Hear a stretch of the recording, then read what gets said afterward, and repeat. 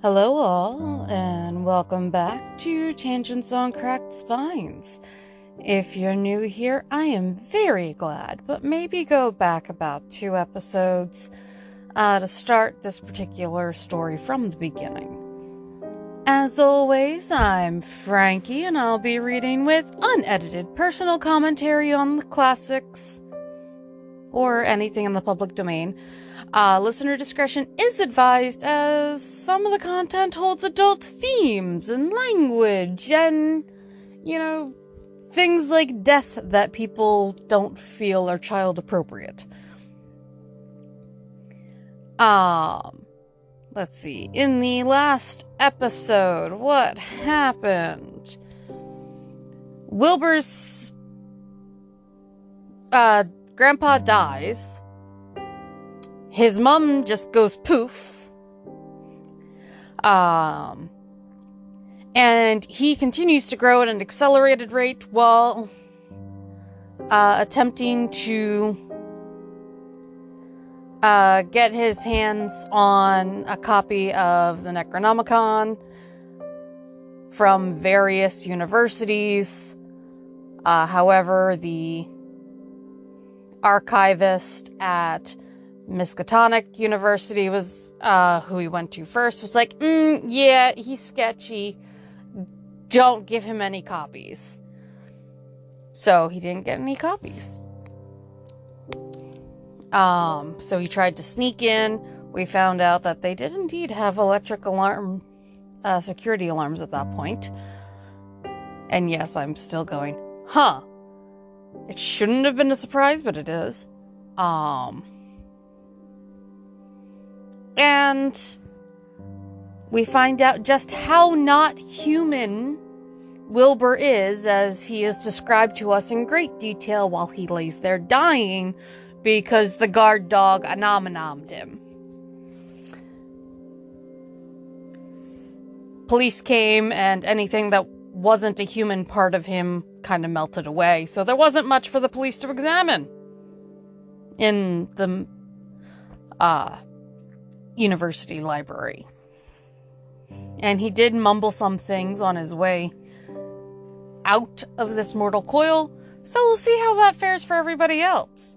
Maybe we'll actually get to the actual Dunwich horror. Oh, yeah. I forgot to mention, we're still on the Dunwich Horror from H.P. Lovecraft. I forgot to name the book. I'm very sorry. But we start back with chapter 7. Hey! It starts off with what I just said. Yet all this was only the prologue of the actual Dunwich horror. Formalities were gone through by bewildered officials, abnormal details were duly kept from the press and public, and men were sent to Dunwich and Aylesbury to look up property and notify any who might be heirs of the late Wilbur Whateley. Or Whittley, I don't know. They found the countryside uh, countryside in great agitation, both because of the growing rumblings beneath the doomed hills, and because of the unwanted stench and the surging, lapping sounds, which came increasingly from the great empty shell formed by the Whateleys' boarded up farmhouse. Earl Sawyer, who tended the horse and cattle during Wilbur's absence had developed a woefully acute case of nerves. The officials devised excuses not to enter the noisome boarded place. Now, remember from previous stories, noisome, while it is spelled N O I S O M E, which would make me think of something uh, auditory, means foul smelling and were glad to confine their survey of the deceased's living quarters, the newly mended sheds, to a single visit. They filled a ponderous report at the courthouse in Aylesbury, and litigations concerning heirship are said to be still in progress amongst the innumerable Whateleys, decayed and undecayed, of the upper Miskatonic Valley. An almost interminable manuscript in strange characters, written in a huge ledger and adjudged a sort of diary because of the spacing and the variations in ink and penmanship, presented a baffling puzzle to those who found it on the old bureau, which served as its owner's desk. After a week of debate, it was sent to Miskatonic University, together with the deceased's collection of strange books, for study and possible translation. But even the best linguists soon saw that it was not likely to be unriddled with ease. No trace of the ancient gold with which Wilbur and old Whateley always paid their debts has yet been discovered. It was in the dark of September 9th that the horror broke loose. The hill noises had been very pronounced during the evening, and dogs barked frantically all night. Early risers on the 10th noticed a particular a peculiar stench in the air. About seven o'clock, Luther Brown, the hired boy at George Corey's between Cold Spring Glen and the village, rushed frenziedly back from his morning trip to the ten acre meadow with the cows. He was almost convulsed with fright as he stumbled into the kitchen, and in the yard outside, the no less frightened herd were pawing and lowing pitifully, having followed the boy back in the panic they shared with him. Between gasps, Luther tried to stammer out his tale to Mrs. Corey. Up there in the in the road beyond the glen, Miss Corey, there's something there. It smells like thunder and all the bushes and little trees is pushed back from the road like they'd uh who's been moved along of it. And that ain't the worst, neither. They's prints in the road, Miss Corey. Great round prints as big as barrel heads, all sunk down deep like an elephant had been there long. Only they's a sight more than four feet could make. I looked at one or two before I run, and I see every one was covered with lines spreading out from one place, like as if big palm leaf fans, or three times as big as any they is, had been pounded down into the rud, and the smell was awful, like it is around Wizard Whateley's old house. Now, mind you, that accent is how it is written. So I am not personally making any commentary on a person's accent in that particular case. That is wholly how he writes the way these people speak. Just throwing that out there again. Here he faltered and seemed to shiver afresh with the fright that had sent him flying home. Mrs. Corey, unable to extract more information, began telephoning the neighbors, thus starting on its rounds the overture of panic that heralded, heralded the major terrors. When she got Sally Sawyer, housekeeper at Seth's Bishop's, the nearest place to the Whateleys, it became her turn to listen instead of transmit. For Sally's boy Chauncey, who slept poorly, had been up on the hill toward Whateley's and had dashed back in terror after one look at the place and at the pasturage where Mr. Bishop's cows had been left out all night.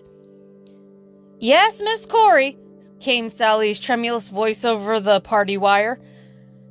Chauncey just he just came back a posting and couldn't have talked for being scared. He says old Whateley's house is all blowed up with the timber scattered around like they've been dynamite inside. Only the bottom floor ain't, though. Through, but is all covered with a kind of tar like stuff that smells awful and drips down off in the edges into the ground where the side timbers is blown away.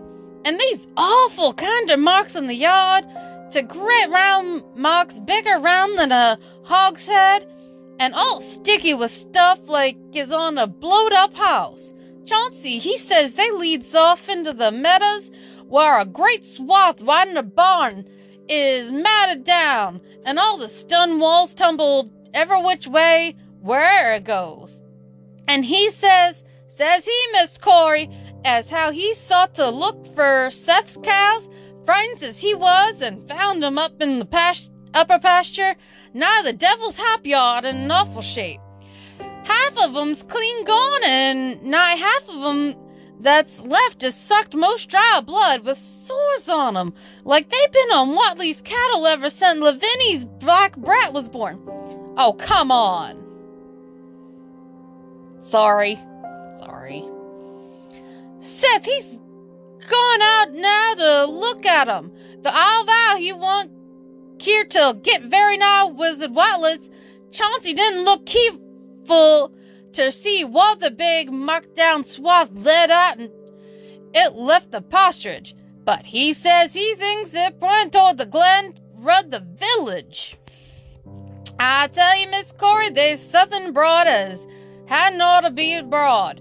And I, for one, think that Wilbur Whateley has come to the bad end he deserved, is at the bottom of the breeding of it.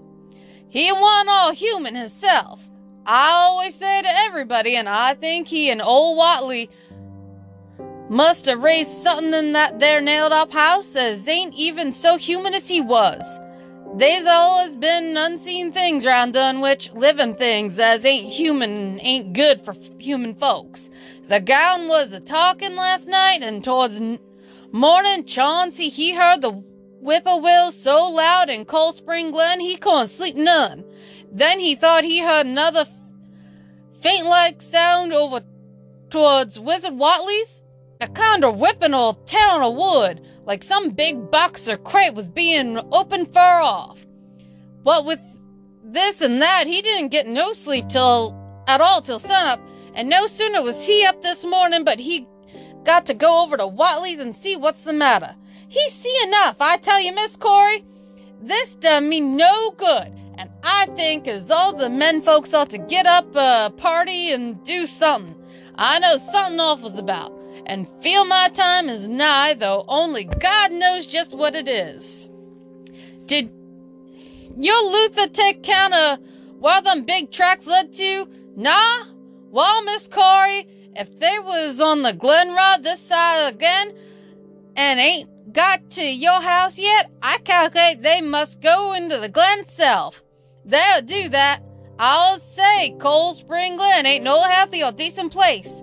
The whippoorwills and fireflies there never did act like they was cre- creators of God, and they's them as says ye can hear strange things a rushing and a talking in the air down there if you stand in the right place between the rock falls and bear's den. By that noon, fully three quarters of the men and boys of Dunwich were topping over the were trooping over the roads and meadows between the new made Whateley ruins and Cold Spring Glen. Exclaiming in horror the vast monstrous prince, the maimed bishop cattle, the strange noisome wreck of the farmhouse, and the bruised matted vegetation of the fields and roadsides. Whatever had burst loose upon the world had assuredly gone down into the great sinister ravine, for all the trees on the banks were bent and broken, and a great avenue had been gouged in the precipice hang yeah, precipice hanging underbrush. It was as though a house, launched by an avalanche, had slid down through the tangled growths of an almost vertical slope. From below, no sound came, but only a distant, undefinable fetor. And it is not to be wondered at that the men preferred to stay on the edge and argue rather than descend and beard the unknown cyclopean horror in its lair. Beard. Wow and Beard, the unknown cyclopean horror in its lair. Three dogs that were with the party had barked furiously at first, but seemed cowed and reluctant when near the glen. Someone telephoned the news to the Aylesbury transcript, but the editor, accustomed to wild tales from Dunwich, did no more than concoct a humorous paragraph about it, an item soon afterward reproduced by the Associated Press. That night, everyone went home, and every house and barn was barricaded and as stoutly as possible. Needless to say, no cattle were allowed to remain in open pasturage.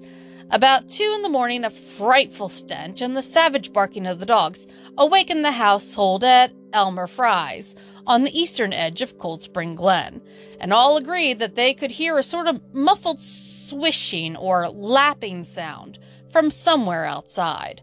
Mrs. Frye proposed telephoning the neighbors, and Elmer was about to agree when the noise of splintering wood burst in upon their deliberations. It came apparently from the barn, and was quickly followed by a hideous screaming and stamping amongst the cattle. The dogs slavered and crouched close to the feet of the fear numbed family. Frye lit a lantern through force of habit, but knew it would be death to go out into the black farmyard. The children and the womenfolk whimpered. This was written in the 20s. This was written in the 20s.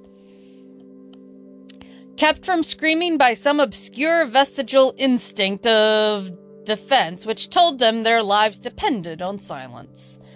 At last, the noise of the cattle subsided to a pitiful moaning, and a great snapping, crashing, and crackling ensued. The Fryes, huddled together in the sitting room, did not dare to move until the last echoes died away far down in Cold Spring Glen.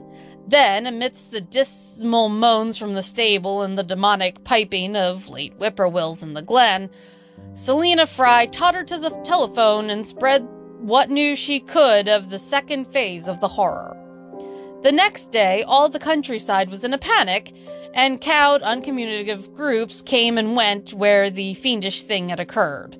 Two titan swaths of destruction stretched from the glen to the Frye farmyard. Monstrous prints covered the bare patches of ground, and one side of the old red barn had completely caved in.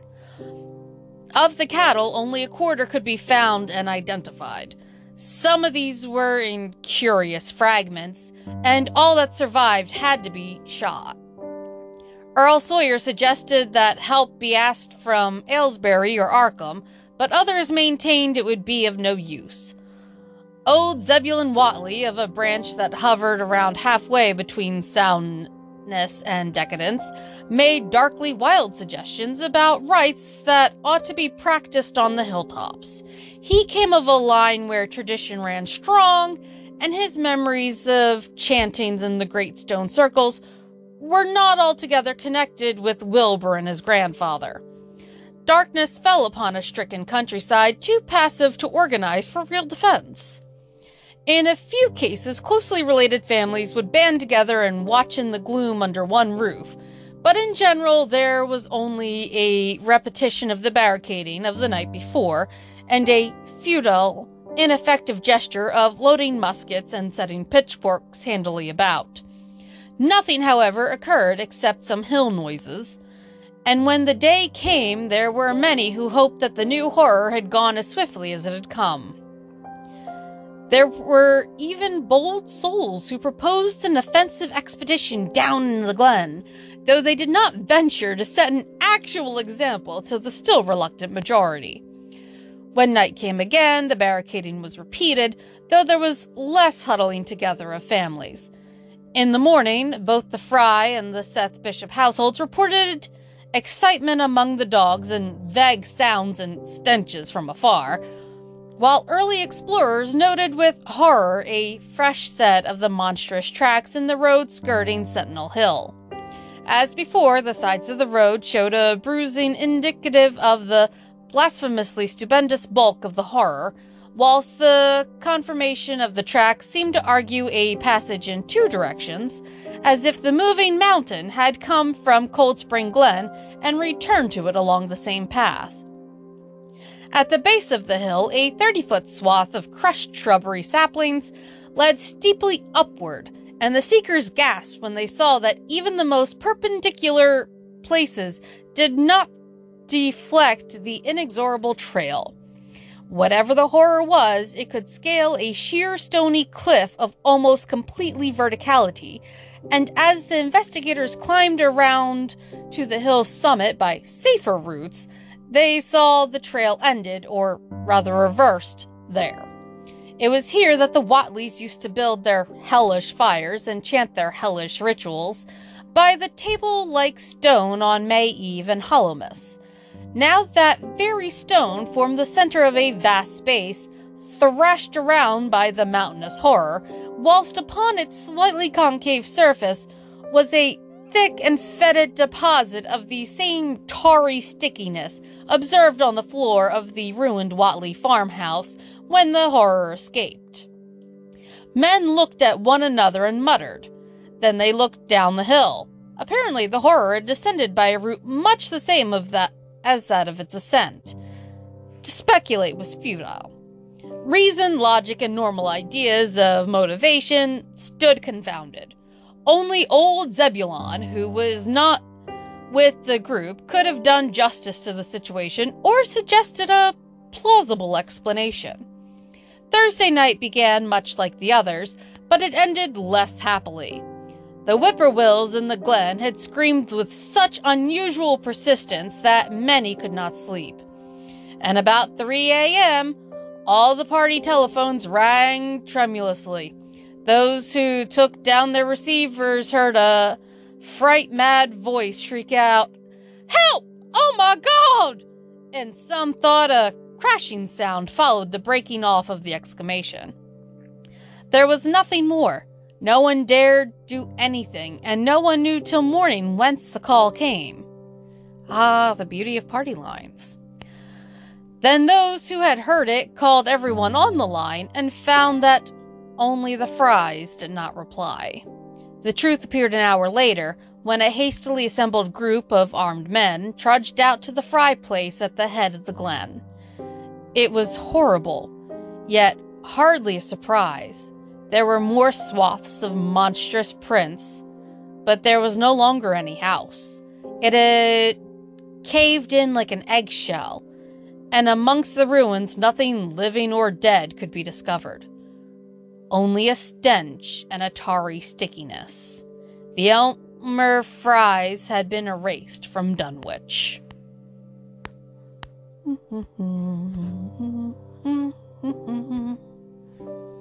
yeah, we got time for some more. Chapter 8 In the meantime, a quieter yet even more spiritually poignant phase of the horror had been blackly unwinding itself behind the closed door of a shelf lined room in Arkham. The curious manuscript record or diary of Wilbur Whateley, delivered to Miskatonic University for translation, had caused much worry and bafflement among the experts in language, both ancient and modern. Its very alphabet, notwithstanding a general resemblance to the heavily shaped Arabic used in Mesopotamia, being absolutely unknown to any available authority. The final conclusion of the linguists was that the text represented an artificial alphabet, giving the effect of a cipher, though none of the usual methods of cryptography solution cryptographic solution seemed to furnish any clue, even when applied on the basis of every tongue and writer tongue the writer might conceivably have used. The ancient books taken from Whateley's quarters, while absorbingly interesting and in several cases promising to open up new and terrible lines of research among philosophers and men of science, were of no assistance whatever in this matter. One of them, a heavy tome with an iron clasp, was in another unknown alphabet, this one of a very different cast and resembling Sanskrit more than anything else. The old ledger was at length given wholly into the charge of Dr. Armitage, both because of his peculiar interest in the Whateley matter and because of his wide linguistic learning and skill in the mystical formula and antiquity of the Middle Ages. Armitage had an idea that the alphabet might be something esoterically used by certain forbidden cults which have come down from old times, and which have inherited many forms and traditions from the wizards of the Saracenic world.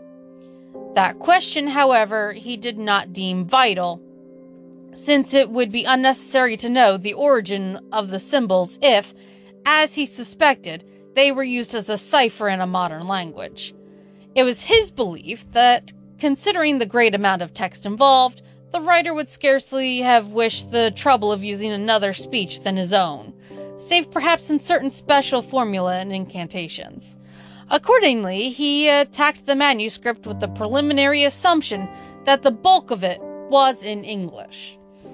Dr. Armitage knew from the repeated failures of his colleagues that the riddle was a deep and complex one, and that no simple mode of solution could merit even a trial. All through late August, he fortified himself with the massed lore of cryptography, drawing upon the fullest resources of his own library, and wadding night after night amidst the arcana of Trithemius's Polygraphia, Giambattista Porta's De Furtis Litterum Notis. I'm sorry, but if it's another language, don't put a hyphen there. Just just move the whole thing to the next line.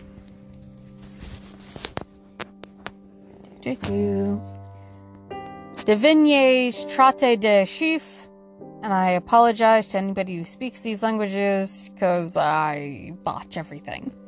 Falconer's Cryptomnesis Pacifata, Davies and Thicknesse's 18th century treatises, and such fairly modern authorities as Blair, von Marten, and Kluber's Cryptographic. He interspersed his study of the books with attacks on the manuscript itself, and in time became convinced that he had to deal with one of those subtlest and most ingen- ingenious of cryptograms. Wow, I can talk, I promise in which many separate lists of corresponding letters are arranged like the multiplication table, and the message built up with the arbitrary keywords known only to the initiated. The older authority seemed rather more helpful than the newer ones, and Armitage concluded that the code of the manuscript was one of great antiquity, no doubt handed down through a long line of mystical experimenters. Several times he seemed near daylight, only to be set back by some unforeseen obstacle. Then, as September approached, the clouds began to clear. Certain letters, as used in certain parts of the manuscript, emerged definitely and unmistakably, and it became obvious that the text was indeed in English. On the evening of September 2nd, the last major barrier gave way, and Dr. Armitage read for the first time a continuous passage of Wilbur Whateley's annals. It was in truth a diary, as all had thought, and it was couched in a style clearly showing the mixed occult erudition and general illiteracy of the strange being who wrote it. Almost the first long passage that Armitage deciphered, an entry dated November 26, 1916, proved highly startling and disquieting. It was written, he remembered, by a child of three and a half who looked like a lad of 12 or 13. Today learn the Aklo for the Sabbath. Sabbath, it ran, which did not like it being answerable from the hill and not from the air. That upstairs more ahead of me than I had thought it would be, and is not like to have much earth brain.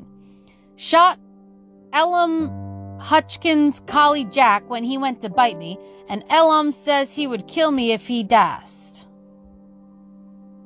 Hmm. I guess he won't. Grandfather kept me saying the Dho formula last night, and I think I saw the inner city at the two magnetic poles.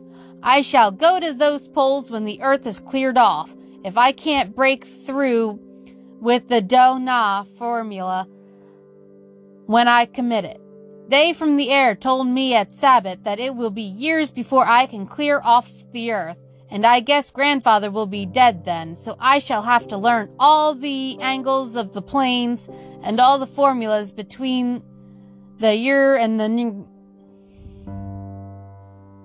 new. Sorry, it's literally just all vowels. Or not all vowels, all consonants. I know the different parts of uh, the alphabet, I promise. They from outside will help, but they cannot take body without human blood. That upstairs looks it will have the right cast. I can see it a little when I make the Vrush, Voorish sign, or blow the powder of Ibn Ghazi at it, and it is near like them at May Eve on the hill. The other face may wear off some. I wonder how I shall look when the earth is cleared and there are no earth beings on it. He that came with the Aklo Sabbath said I may be transfigured, there being much of outside to work on. Morning found Dr. Armitage in a cold sweat of terror and a frenzy of wakeful concentration. He had not left the manuscript all night, but sat at his table under the electric light, turning page after page with shaking hands as fast as he could decipher the cryptic text. He had nervously telephoned his wife that he would not be home, and when she brought him a breakfast from the house, he could scarcely dispose of a mouthful. All that day he read on, now and then halted maddening, maddeningly as a reapplication of the complex key became necessary. Lunch and dinner were brought him, but he ate only the smallest fraction of either.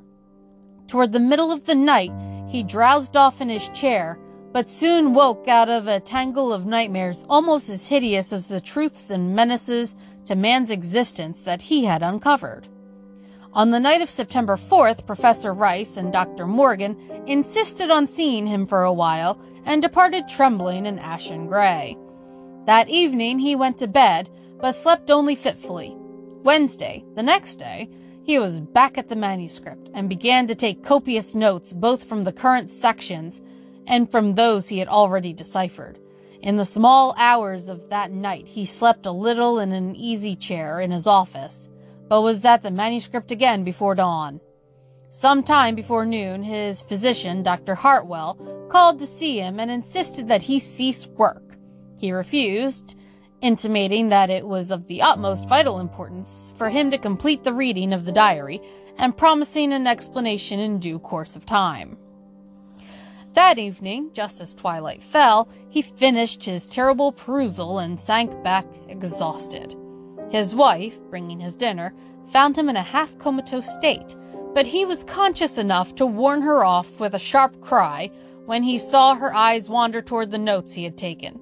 Weakly rising, he gathered up the scribbled papers and sealed them all in a great envelope, which he immediately placed in his inside coat pocket. He had sufficient strength to get home, but was so clearly in need of medical aid that Dr. Hartwell was summoned at once. As the doctor put him to bed, he could only mutter over and over again, But what in God's name can we do? Dr. Armitage slept, but was partly delirious the next day. He made no explanations to Hartwell, but in his calmer moments spoke of the imperative need of a long conference with Rice and Morgan. His wilder wanderings were very startling indeed including frantic appeals that something in a boarded up farmhouse be destroyed, and fantastic references to some plan for the extirpation of the entire human race and all animal and vegetable life from the earth by some terrible elder race of beings from another dimension. He would shout that the world was in danger since the elder things wished to strip it and drag it away from the solar system and cosmos of matter into some other plane or phase of entity from which it had once fallen. Vid- Vigitillions of eons ago. That's a new word for me. At other times, he would call for the dreaded Necronomicon and the Demonal- Demonaltaria of Remigus, in which he seemed hopeful of finding some formula to check the peril he conjured up. Stop them! Stop them! he would shout. Those Whateleys! Meant to let them in, and the worst of all is left. Tell Rice and Morgan we must do something. It's a blind business, but I know how to make the powder. It hasn't been fed since the 2nd of August, when Wilbur came here to his death and at that rate. But Armitage had a sound uh, physique despite his 73 years and slept off his disorder that night without developing any real, fe- real fever. Wait, What? First of all, I didn't realize he was that old a man. Second of all, he's going to be rambling and ranting, and then you're just, uh, he, he slept it off. It's fine. he woke late Friday, clear of head, though sober with a gnawing fear and tremendous sense of responsibility. Saturday afternoon, he felt able to go over to the library and summon Rice and Morgan for a conference, and the rest of that day and evening, the three men tortured their brains in the wildest speculation and the most desperate debate. And again, I have cats. I am sorry if you hear their noise in the background, because they apparently have the zoomies. Ah. Alright. Strange and terrible books were drawn voluminously from the stacked shelves and from secure places of storage, and diagrams and formula were copied with feverish haste and in bewildering abundance. Of skepticism there was none. Wow, of skepticism there was none. Is it normally spelled with a C? Hmm. All three had seen the body of Wilbur Whateley as it lay on the floor in a room of that very building, and after that, not one of them could feel even slightly inclined to treat the diary as a madman's raving. Opinions were divided as to notifying the Massachusetts State Police, and the negative finally won. I mean, what are you gonna tell uh, the police? hey, we think that, um, that person who got killed by the dog breaking in and dissolved in the library uh, may have brought something unnatural into this world. They're totally going to believe you. There were things involved which simply could not be believed by those who had not seen a sample, as indeed was made clear during certain subsequent investigations. Late at night, the conference disbanded without having developed a definite plan, but all day Sunday, Armitage was busy comparing formula and mixing chemicals obtained from the college laboratory. The more he reflected on the hellish diary, the more he was inclined to doubt the efficacy of any material agent in stamping out the entity which Wilbur Whateley had left behind him. The earth threatening entity, which, unknown to him, was to burst forth in a few hours and become the memorable Dunwich Horror. Monday was a repetition of Sunday, with Dr. Armitage, for the task in hand, required an infinity of research and experiment. Further consultations of the monstrous diary brought about various changes of plan. And he knew that even in the end, a large amount of uncertainty must remain. By Tuesday, he had a definite line of action mapped out and believed he would try a trip to Dunwich within a week. Then, on Wednesday, the great shock came.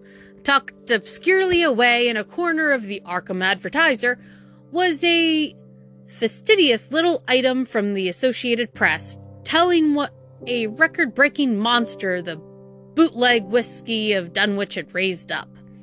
Armitage, half stunned, could only telephone for Rice and Morgan. Far into the night they discussed, and the next day was a whirlwind of preparation on the part of them all. Armitage knew he would be meddling with terrible powers, yet saw that there was no other way to annul the deeper and more malign meddling which others had done before him.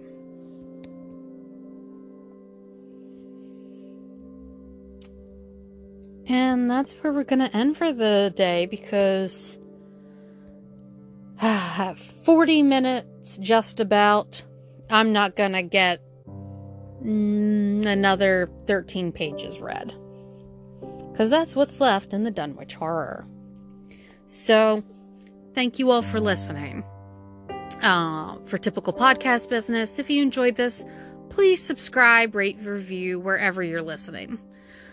Um, obviously, five stars on uh, Apple uh, iTunes or Apple Podcasts, whatever it's called, is highly appreciated because it's the most likely to get uh, me into more people's ears.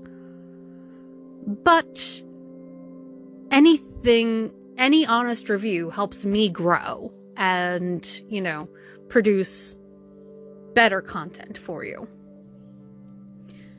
Although the content is really just me reading other people's work and having opinions. Do, do, do. Uh, please share this with your friends if you think uh, any of them will like them. If you want to, you can reach out to me via tocspod at gmail.com. That's the initials, phonetically Tango Oscar Charlie Sierra Paris Oscar Delta at gmail.com. I blanked on the phonetic alphabet. Wow. On Facebook at Tangents on Cracked Spines Book Club, or with a voice message at anchor.fm forward slash Tangents on Cracked Spines. Uh, we do have uh, updates posted and polls to vote. Um, I'm gonna put that uh, poll on this episode uh, where I can. Please comment your suggestions. Because as we're wrapping up, we're only going to have one more episode. Your options for the next bit of uh, reading. I continue on with another uh, 10 to 15 episodes of H.P. Lovecraft stories. I do a collection of Edgar Allan Poe works. I read Bram Stoker's Dracula, which will probably take us through the end of the year. Let's face it, it's a very long and drawl book. Or the Nonsense Anthology. Please let me know either in the comments or via any of these st- things I had stated to contact me or in a poll. What would you like me to read next? And if it's something that's not that, go ahead and let me know that too. Again, my bookworms, thank you for listening. And have a wonderful day or night. I know some people listen to this to fall asleep. I'm that boring.